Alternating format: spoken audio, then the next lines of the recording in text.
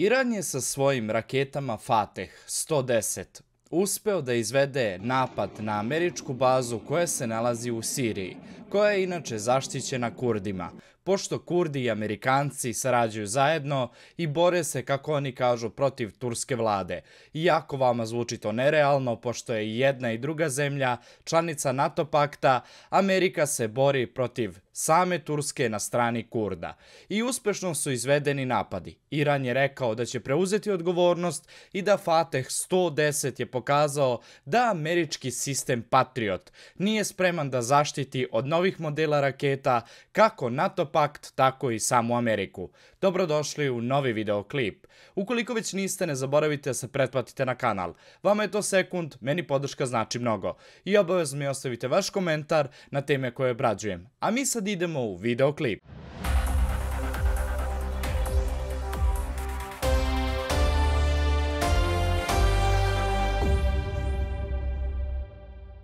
Unazad dve godine, koliko traje sukob između Ruske federacije i Ukrajine i sama specijalna operacija, čuli smo dosta toga o Iranu. Čuli smo dosta toga o povezanosti Ruske federacije, Južne Koreje, pa čak i same Kine sa Iranom. I da u stvari niko ne zna od velikih sila poput Amerike šta u stvari Iran posjeduje koliko imaju borbenu moć, šta su imaju u svom arsenalu i koliko to može biti opasno. Ali smo videli juče, 15.1.2024. godine, da i tekako Iran može da izvede uspešne napade, gde je sistem Patriot 3 MB, kako oni kažu, zakazao, gde nije uspeo da reaguje i gde je poginuo jedan od glavnih čoveka, kako oni kažu, kurdski šef, koji se bavio prodajom dizela iz Sirije. Međutim, interesantno je da je Amerika rekla da nema potrebe da odgovara na ovakav surovi napad samog Irana. Svi znamo ko je Amerika i da Amerika jedva čeka ovakve situacije, kako bi mogla da odgovori. Da li je ovo samo dokaz neuspeha jedne Amerike ili možda definitivno svesni su da nemaju dovoljno snage kako bi se suprostavili Iranu, jer su svesni da je Iran kroz svoje ratovanje zajedno sa Ruskom federacijom na bojnom polju i same Ukrajine dokazao da ima i tekako efikasne dronove, koji su se pokazali jako uspešni na bojnom polju, gde su uništili svaki skoro tank, svaku skoru mehanizaciju koju je NATO pakt i sama Amerika poslali Ukrajincima, gde su se dronovi pokazali kao jako uspešni za samo eliminisanje takvih ciljeva.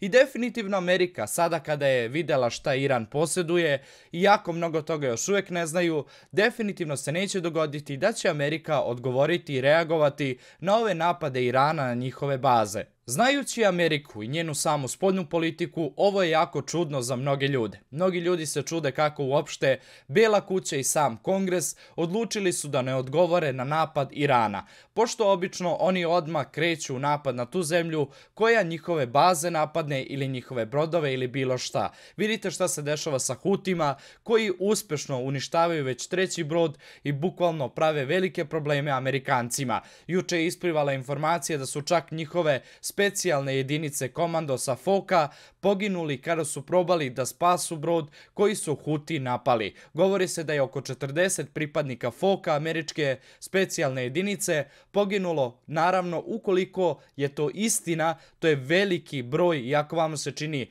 mali, 40 ljudi, ali veliki broj za Ameriku, pošto Amerika se hvali da ima jedno od najboljih vojski na svetu. Izgleda ipak da nema iskustva u borbi protiv Huta. I te kako će ova cela situacija biti za budućnost interesantna, pošto je Iran rekao da je on preuzeo odgovornost za napade svoje jedinice, takođe da je Iran preuzeo sve moguće posledice u Savetu bezbednosti. Oni su rekli da je to samo odgovor Amerikancima na ono što oni rade zajedno sa Izraelom palestincima. Rekli su da će svoju braću braniti, ukoliko bude bilo potrebno, da će svagde gde mogu da svoje rakete dosignu, to jest iranske rakete da dosegnu, oni se potruditi da te ciljeve američke unište i sruše. Interesantno je da je baš napadnuta, mogu reći, zemlja koja se bori protiv druge NATO zemlje. O čemu se tačno tu radi? Turska već duže vreme ima problema sa Kurdima iz Sirije, sa takozvanom ozlogašenom organizacijom PKK, koja se trudi da već duže vremena uništi samu tursku vladu, da zauzme dobre delove Turske i da napravi, kako oni kažu, nezavisnu zemlju Kurdistan. I Amerika podržava PKK organizaciju. Iako je PKK do skoro bio, mogu reći slobodno, na drugom mestu što se tiče organizacija koje nisu dobre po čovečanstvo, Amerika je ipak odlučila da se pridruži PKK, da im daje oružje, uniformu i da se bore protiv Turske. Kao što znate i Turska i Amerika su zemlje koje su članice NATO pakta, tako da je nerealno da jedna zemlja drugoj otežava situaciju jer ipak su zajedno u istom sosu. Interesantno je da je sam Erdogan pričao o tome dok Amerika govori da to radi kako bi zaštitila ljudska prava. Što se tiče ljudskih prava i licemerosti, možemo da vidimo šta se dešava u Palestini.